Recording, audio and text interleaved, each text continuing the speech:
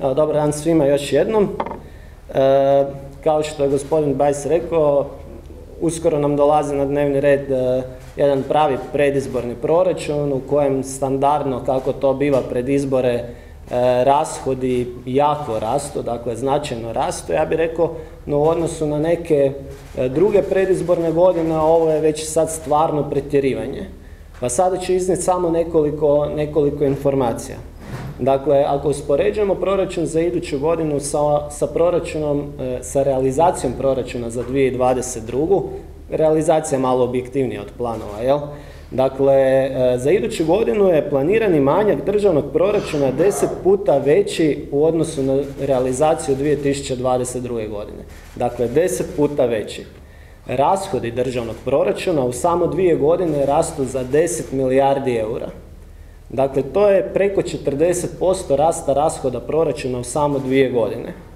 Istovremeno, primjerice, prihodi od, od poreza rastu po, za čak 3 milijarde eura u samo te dvije godine, e, gdje se recimo da se nije dizala baš toliko potrošnja, ta, otprilike taj iznos iznosi ukupan porez na dohodak u Hrvatskoj. Znači, moglo se značajno primjerice rasteretiti plaće. Ono što je bitno za istaknuti je primjerice rashodi za zaposlene, koji su u te dvije godine rastu za čak 70%. Dakle, 70% rast rashoda za zaposlene. Postavlja se pitanje kad, kad prestane inflacija, kada prestane ta visoka količina novca iz EU fondova, tko će nakon toga to sve dakle plaćati? A sada dolazimo do tih EU fondova. Dakle, znamo da se premijer time hvali, a evo iduće godine planira u odnosu na ovu milijardu eura manje prihoda iz EU fondova. Dakle, nije to baš tako ružičasto kako premijer predstavlja.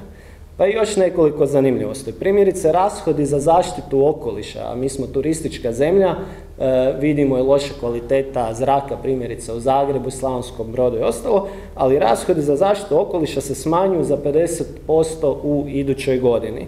Također za obrazovanje se planira izdvojiti 50 milijuna eura manje. Povuko bi paralelu i sa 2016. kada je HDZ došao na vlast. Dakle, u proračunu iduće godine će rashodi biti dvostruko veći nego u proračunu 2016. godine. A istovremeno je BDP rastao samo 50%. Dakle, 50% povećanje BDP-a, a 100% povećanje državnog proračuna. Što nam to govori? To nam govori da vlada nakon 7 godina vlasti HDZ-a živi znatno bolje nego što to žive građani. A izvojimo još neke e, zanimljivosti. Dakle, ako pogledamo dospjele nepodmirene obveze, zdravstvo opet na starom. Dakle, na kraju prošle godine ukupan dug zdravstva iznosio 230 milijuna eura, sada iznosi 382 milijuna eura. Država u totalu sa 250 milijuna eura na 400 milijuna eura porasle, naglašavam, dospjele nepodmirene obveze. A izvan proračunski korisnici pored toga još pola milijarde eura. Pa idući puta kada će se premijer e, hvaliti odličnim stanjem javnih financija, treba ga možda podsjetiti da nisu baš sve brojke tako, tako bajne. E, Upravo iz tih razloga stranka Fokus proračuna neće podržati, ali ćemo dati naravno svoje amandmane na ovaj proračun. A još par riječi o samom proračunu će reći i zastupnik Zurovac.